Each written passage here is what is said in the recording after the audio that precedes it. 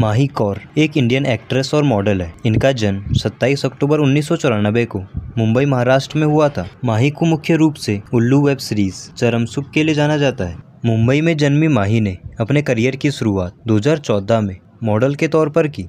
इसके बाद उन्होंने कई प्रसिद्ध वेब सीरीज़ में भी अभिनय किया, जिसमें रात बाकी आई बैट, पलंग तोड़, पाठशाला रुपये पाँच सौ, भूख, चरम सुख, lady finger, jalebi three, Amrapali गाँव की गर्मी।